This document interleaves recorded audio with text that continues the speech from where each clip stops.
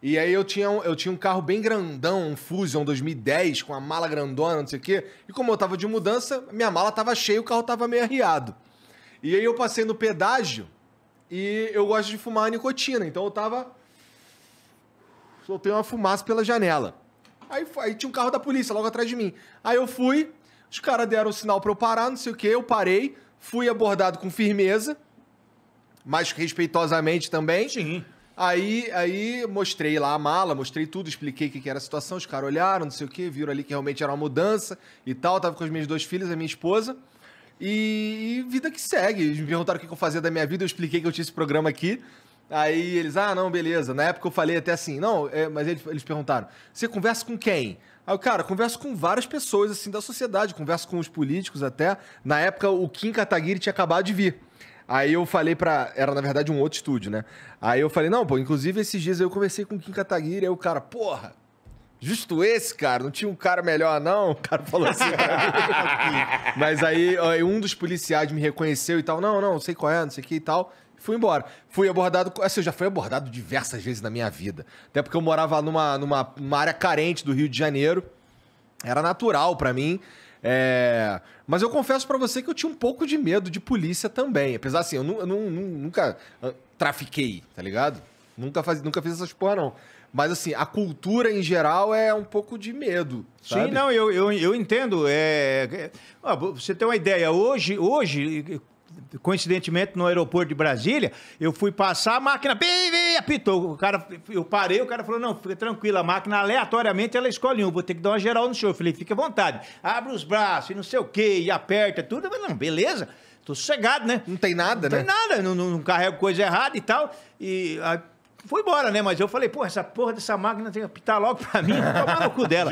mas, mas entendeu? Então, mas é normal. Então é, é até bom que aconteça dessa maneira, porque a pessoa não se sentir que falar, não, parou porque eu sou negro, parou porque eu sou feio, parou porque vai abordar um, um. né? Eu sou um super conhecido, então, mas tem que abordar mesmo.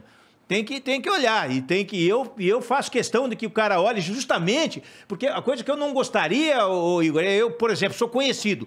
Eu tá vindo da região de fronteira, por exemplo, vou passear lá, vou no Paraguai, é um direito meu, eu vindo e parar e o cara não, não olhar e depois ficar pensando, pô, será que esse sargento É. não tá trazendo merda, não sei o quê? Prefiro que o cara olhe. Olhe, sabe? Então eu vou olhar e vou. Ah, o cara aproveitando por ser deputado, trazendo merda aqui. Não... Então eu faço questão. Falo assim, ó, tá à vontade aqui, não me sinto constrangido. E, ó, fica à vontade, É, entendeu? até porque assim, a tua, a tua visão. Você foi eleito deputado por causa de uma visão de mundo que você tem. Sim, exatamente. E você precisa dar o exemplo dessa visão Exatamente. de mundo. Perfeito. Independente de concordar ou discordar. Nós fomos, nós fomos abordados aqui pela Polícia Rodoviária. Eu vim de caminhonete duas vezes para Brasília, né? Né, Nesse, durante o meu Caralho. mandato. Eu vim de caminhonete duas vezes. Aí Dá quanto tempo? foi em 2019. Mas dá quanto tempo de viagem? Dá, dá 18 horas mais ou horas. menos. Mas assim, pariu. Bem tranquilão, parando para comer, sossegado, sem, sem, sem, estresse. atropelo. Então fui abordado aqui em Goiás. Polícia Rodoviária Federal. Parou, documento, tal, tal, e desce, e o cara vai lá para dentro e olha, e olha, olha, olha. E viu o porte de arma e tal, e já né, dali a pouco. O senhor não é o sargento Faú? Falei, sou eu mesmo. Vamos tirar uma foto? Falei, tá, na hora. Então, entendeu? Então é tranquilo, o cara tá fazendo o serviço dele, aí depois já veio o outro lá e tal. Então, quer dizer, eu não me sinto constrangido. Eu peço para as pessoas que entendam que o serviço da polícia é esse. Porque a partir do momento que você deixar de abordar, independente de, de suspeita, ou deixar de abordar, quem ganha é o crime.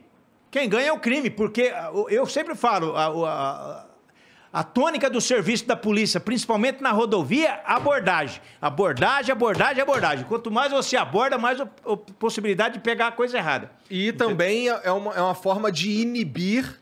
Se Sim, o cara sabe exatamente. que tem abordagem pra caralho, ele exatamente, exatamente. Prevenção. Tanto que quando tem operações é, onde envolve maior número de policiais, que vem pessoal de fora, a- a- diminui o, o contrabando, o tráfico naqueles dias ali, porque o cara sabe que vai ser abordado. A possibilidade do cara ser abordado é muito maior. Você entendeu? Até o secretário de segurança ligou uma vez pra mim e falou pra mim: ah, favor, tá tendo uma operação e eu tô sabendo que tem toneladas de, de, de maconha, de cocaína lá no Paraguai esperando a operação. Para eu quero tudo. ser firme aí. Falei, deixa comigo. Para tudo. Então é. Você entendeu? É, é trabalhar focado.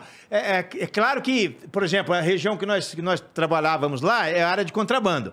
Eu nunca incomodei com o cara que vai lá pra buscar pra ganhar um dinheirinho, rapaz. O cara vai lá e, e a cota é. Papo de polícia. A cota é 500 dólares, o cara traz mil dólares, o cara não pode trazer coisa repetida. Já cara... gosto mais do senhor. Não, sim. É, não, isso mas é, isso isso aí é verdade. velho. Eu não tenho. Ó, e outra Ô, ô, coisa, eu com Ro- Rotan. Rotan, eu trabalhava em Rotan, é, é- é- é equipe especial. Eu não tenho como perder tempo também com infração de trânsito de madrugada na rua, senão eu não Tá consigo entendendo? trabalhar. Não trabalha, velho. Desculpa, ó, o, o Sargento Farruto, que fazer uma, eu tô aqui quietinho, é, na primeira colocação que ele falou da, da fundada suspeita, ele tava falando, pô, hoje em dia tem, juiz, tem juízes que não deixam a gente trabalhar porque ele vai lá e derruba um flagrante, um trabalho de tráfico de drogas, indo de, lá na, na fundada suspeita, no motivo para abordar. Mas quando você está numa rodovia federal que vem de Foz do Iguaçu, que é uma das maiores portas de droga, Sim. é, é Foz e lá em cima que é Pedro Juan Cabaleiro, né? São as duas grandes. Então, e ali o- a fundada suspeita ela se materializa Monza velho empinado. Ele sabe quando o carro tem cheiro de transporte de droga, ele tá na estrada. E aí a segunda coisa que eu vou elogiar, parabéns, sargento, que eu tô vendo aqui, eu faço questão de não estudar muito a pessoa, porque eu quero conhecer a pessoa aqui. E é aquela questão do, do, do polícia raiz. O cara que tá, o sargentão que tá lá há 20, 30 anos na rodovia, peitando carro que vem com arma, carro que vem com droga, carro que vem com ladrão fugindo de um rouba-banco que passa na cara dele, não é isso? Sim, Passa exato. tudo ali. Aconteceu um, um, ass- Passa, um assaltante de residência. Não dá tempo de pegar o cara que tá com 500 dólares a mais. Não dá tempo de ficar fazendo infração de trânsito. Não, Não, dá não tempo tem. de ficar fazendo licenciamento de veículo. O cara que tá na treta, ele tá ali pra pegar droga, ladrão fugindo, entendeu? E, e- e a mentalidade do polícia de rua pro polícia de gabinete é, mas você verificou se tinha o reagente azul? Não, não tinha o reagente, eu cheirei aquela porra, amorteceu minha boca, era cocaína, arrombado. Porra, chefe, desculpa cara aí, não- caralho. não tá na- Lá na- na- às duas da manhã na estrada não tem o reagente, às vezes não tem o cachorro. E aí o cara desenvolve esse, esse lado de polícia que ele sabe o que, que ele precisa fazer tal, e frescura não dá tempo. Não dá tempo de prática de, de Exatamente. Tem caso, Igor, pra você ter uma ideia, por, por isso que eu falo que vai tudo da, da, da forma como o policial trata e como a pessoa aceita a abordagem. Uma vez nós abordamos um caminhão carregado de tomate, vindo de Foz para sentido Maringá. E ele tinha saído de Goiás com o tomate.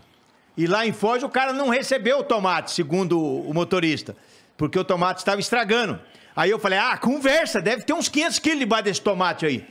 Mas tô tratando o cara bem até então. Tranquilo, abordagem. Levamos pra, pra companhia, falei, ó, eu vou querer que você mexa nessa carga aí. O cara puto da vida com nós, é, tomar no cu, eu tenho que entregar essa carga na, na, na, na fábrica de, de molho, de, de, de extrato de tomate, não sei o quê.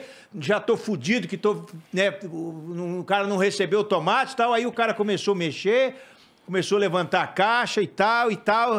Fomos ficando amigos, não tinha porra nenhuma de errado, tava certo. No final das contas, nós tava trocando zap e tal, fizemos amizade, porque a forma de você tratar o motorista tratamento, entendeu que é a minha obrigação, que realmente aquela situação que ele estava É tornou-se esquisita. suspeita. Como é que vai levar tomate de Goiás para Foz e Foz não recebe tomate e vem?